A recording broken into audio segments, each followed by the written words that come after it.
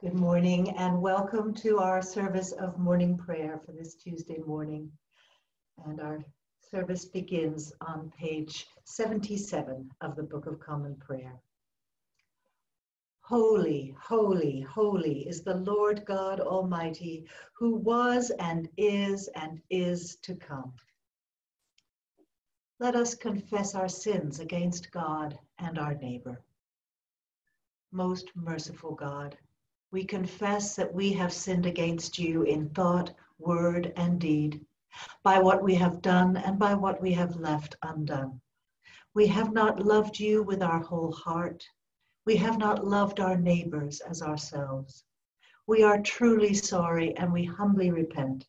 For the sake of your Son, Jesus Christ, have mercy on us and forgive us, that we may delight in your will and walk in your ways to the glory of your name. Amen. Almighty God, have mercy on you, forgive you all your sins through our Lord Jesus Christ, strengthen you in all goodness, by the power of the Holy Spirit, keep you in eternal life. Amen. Lord, open our lips, and our mouth shall proclaim your praise. Glory to the Father, and to the Son, and to the Holy Spirit, as it was in the beginning, is now, and will be forever. Amen. Alleluia. Father, Son, and Holy Spirit, one God, come, let us adore him. And we turn to page 82 for the Jubilate. Be joyful in the Lord, all you lands. Serve the Lord with gladness and come before his presence with a song. Know this the Lord himself is God. He himself has made us, and we are his. We are his people and the sheep of his pasture. Enter his gates with thanksgiving. Go into his courts with praise. Give thanks to him and call upon his name. For the Lord is good, his mercy is everlasting, and his faithfulness endures from age to age. Father, Son, and Holy Spirit, one God, come, let us adore him.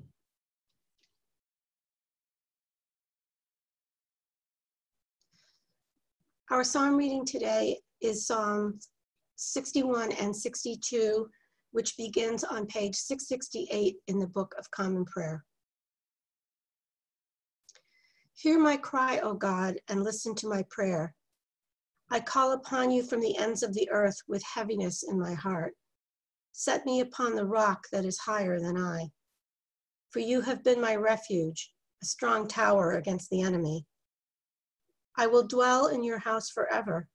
I will take refuge under the cover of your wings. For you, O God, have heard my vows. You have granted me the heritage of those who fear your name. Add length of days to the king's life. Let his years extend over many generations. Let him sit enthroned before God forever. Bid love and faithfulness watch over him.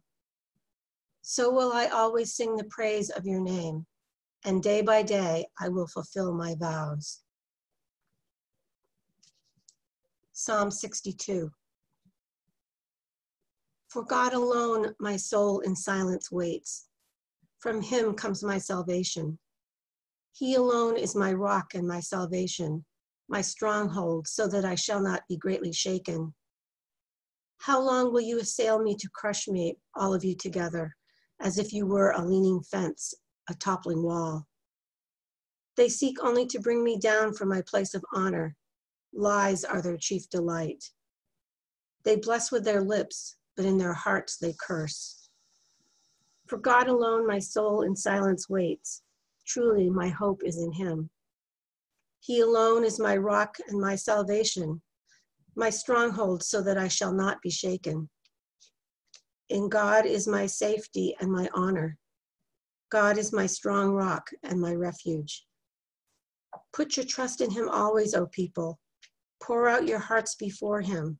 for God is our refuge. Those of high degree are but a fleeting breath. Even those of low estate cannot be trusted. On the scales, they are lighter than a breath, all of them together. Put no trust in extortion.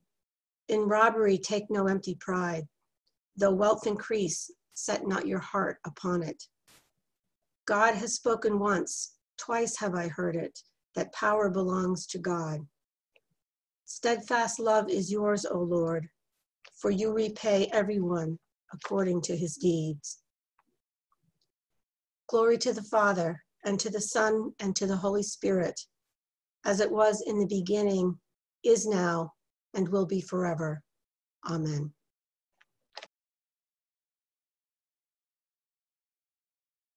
A reading from Paul's letter to the Galatians. Tell me, you who desire to be subject to the law, will you not listen to the law?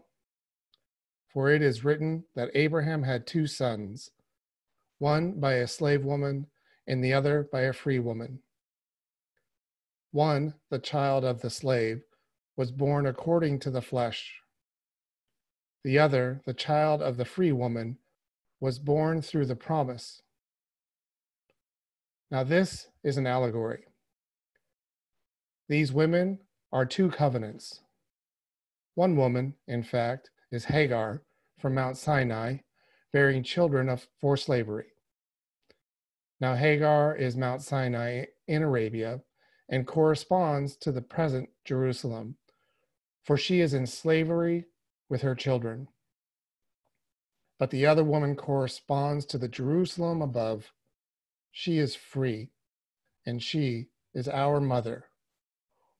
For it is written, Rejoice, you childless one, you who bear no children.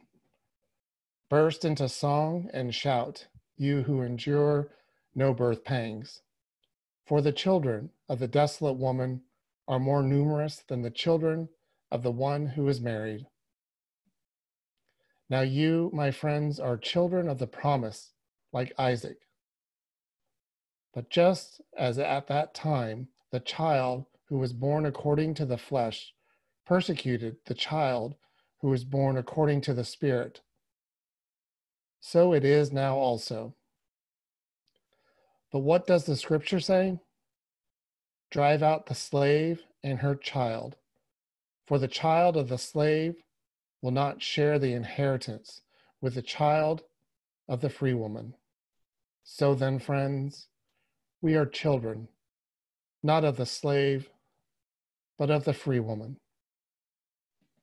Hear what the Spirit is saying to God's people. Thanks be to God.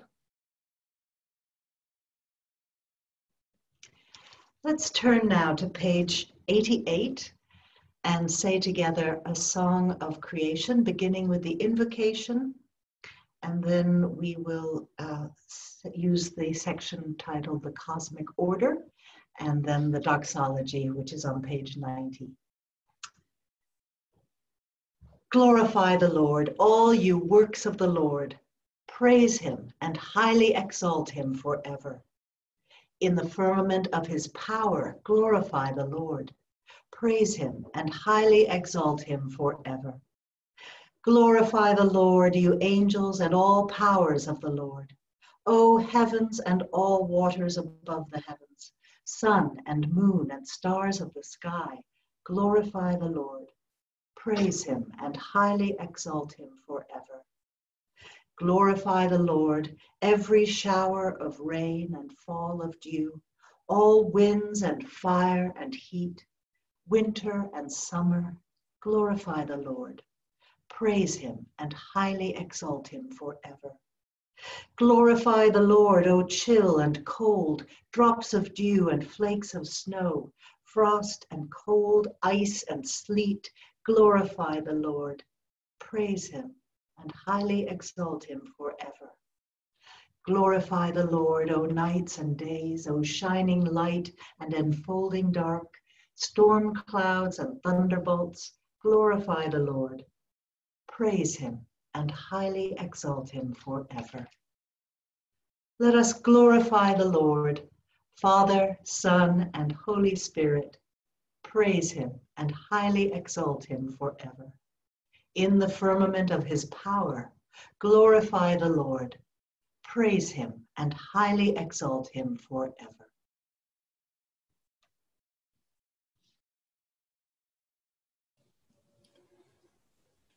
A reading from the Gospel of Matthew. After Jesus had left that place, he passed along the Sea of Galilee, and he went up the mountain where he sat down. Great crowds came to him, bringing with them the lame, the maimed, the blind, the mute, and many others. They put them at his feet, and he cured them so that the crowd was amazed when they saw the mute speaking, the maimed whole, the lame walking, and the blind seeing. And they praised the God of Israel. Then Jesus called his disciples to him and said, I have compassion for the crowd, because they have been with me now for three days and have, and have nothing to eat. And I do not want to send them away hungry, for they might faint on the way. The disciples said to him, Where are we going to get enough bread in the desert to feed a great so great a crowd? Jesus asked them, How many loaves have you? They said, Seven and a few small fish. Then, ordering the crowd to sit down on the ground, he took the seven loaves and the fish, and after giving thanks, he broke them and gave them to the disciples, and the disciples gave them to the crowds. And all of them ate and were filled. And they took up the broken pieces left over, seven baskets full. Those who had eaten were 4,000 men, besides women and children. After sending away the crowds, he got into the boat and went to the region of Magadan. Hear what the Spirit is saying to the people of God.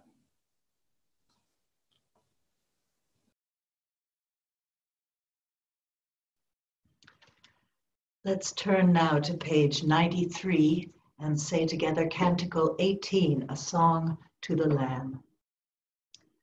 Splendor and honor and kingly power are yours by right, O Lord our God, for you created everything that is and by your will they were created and have their being.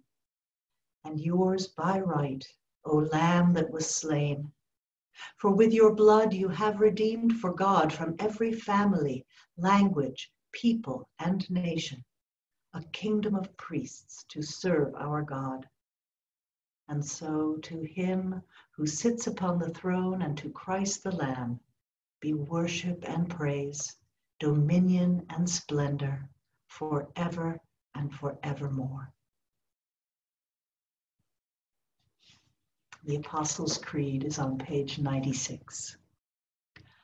I believe in God, the Father Almighty, creator of heaven and earth. I believe in Jesus Christ, his only Son, our Lord. He was conceived by the power of the Holy Spirit and born of the Virgin Mary. He suffered under Pontius Pilate was crucified, died, and was buried. He descended to the dead. On the third day, he rose again.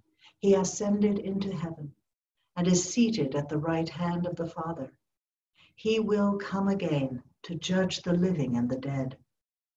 I believe in the Holy Spirit, the Holy Catholic Church, the communion of saints, the forgiveness of sins, the resurrection of the body and the life everlasting. Amen. The Lord be with you and also with you. Let us pray. Our Father, who art in heaven, hallowed be thy name. Thy kingdom come, thy will be done, on earth as it is in heaven. Give us this day our daily bread and forgive us our trespasses as we forgive those who trespass against us. And lead us not into temptation, but deliver us from evil. For thine is the kingdom and the power and the glory forever and ever. Amen. Turn to page 98 for suffrages B. Save your people, Lord, and bless your inheritance. Govern and uphold them now and always. Day by day we bless you. We praise your name forever. Lord, keep us from all sin today. Have mercy on us. Lord, have mercy. Lord, show us your love and mercy, for we put our trust in you. In you, Lord, is our hope, and we shall never hope in vain.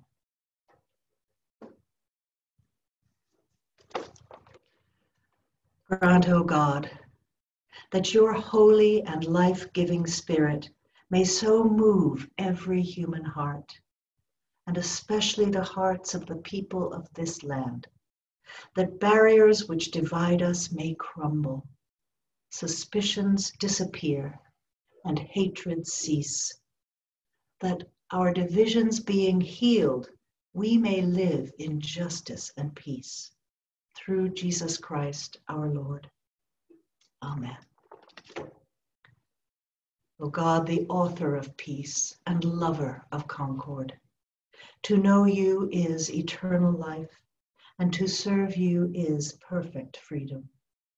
Defend us, your humble servants, in all assaults of our enemies, that we, surely trusting in your defense, may not fear the power of any adversaries, through the might of Jesus Christ our Lord. Amen. O God, you have made of one blood all the peoples of the earth and sent your blessed Son to preach peace to those who are far off and to those who are near. Grant that people everywhere may seek after you and find you. Bring the nations into your fold. Pour out your Spirit upon all flesh and hasten the coming of your kingdom through Jesus Christ our Lord. Amen. Let us offer our individual prayers and thanksgivings, remembering especially those who are suffering, grieving, hurting, or fearful today.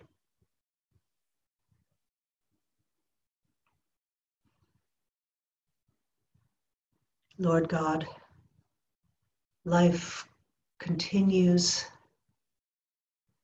even in this strange and restricted way, the cycles of life are insistent. There is birth, there is death, there is illness, there is the threat of broken relationships, of conflict within the homes and fearfulness as we look at our world around us and the many ways in which it is broken. But you, O oh God, are with us through it all. In our lockdown, in our mask wearing, in our catching up with the news that we really don't want to hear or see. You are by our side. And you give us all that we need if only we are there to receive it. So, Lord, help us to receive. Open our hands and our hearts and our minds and our ears to feel and hear you, your voice, your presence, your overwhelming love be with us today and every day. We ask this in Jesus' name. Amen.